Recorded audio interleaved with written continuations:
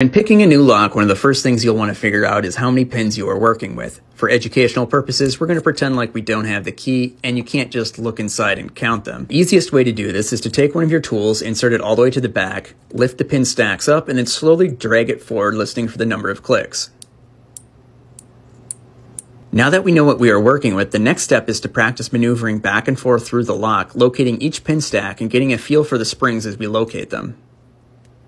Now that we know how many pins we have and we're comfortable locating them while maneuvering through the lock, let's go ahead and get an idea of about how much pressure we'll need on our torsion tool to set them. We can do this by finding the first one that binds and practice setting and unsetting it over and over again. Once you think you're ready, go ahead and set the rest of the pins.